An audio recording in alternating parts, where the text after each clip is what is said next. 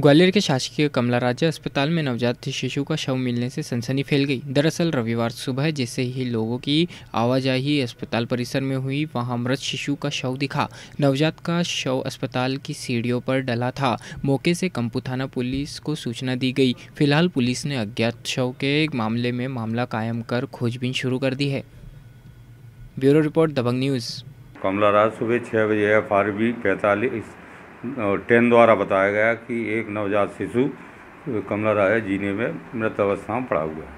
तो किसने भेजा है? क्या है? अजय कोई मालूम नहीं पड़ता है। अज्ञात में है। कितने बजे का मैम? जो एफ़ आर बी को इवेंट पहुँचा था छः बजे। जैसे ही एफ़ आर बी ने पहुँची है वो इसके बाद तुरंत थाने पर बताया।